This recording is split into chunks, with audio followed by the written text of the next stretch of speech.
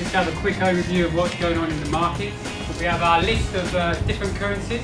Today is the first day for our whole new batch of students on the UCL Masters course in Financial Computing.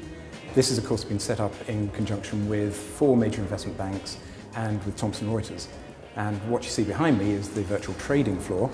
And the students here have got an unparalleled access to real market data. They've got market data, real-time feeds, they've got business data being fed into their computers here. All based against the dollar. What the students get out of this program that they don't get elsewhere is that they have a program that's been designed by the banks in, in combination with UCL. What really appealed to me about the course was the fact that it provides a link between people who've come from less technical degrees and people who want to move into a career in the city, um, a career in investment banking, the technology side of investment banking. Having come from a more of a business background, um, I didn't really have many technical skills. It gave me the unique opportunity opportunity to learn about the financing because I'm coming from the animal science background. Banks are now looking more and more to their technology divisions in order to cut costs.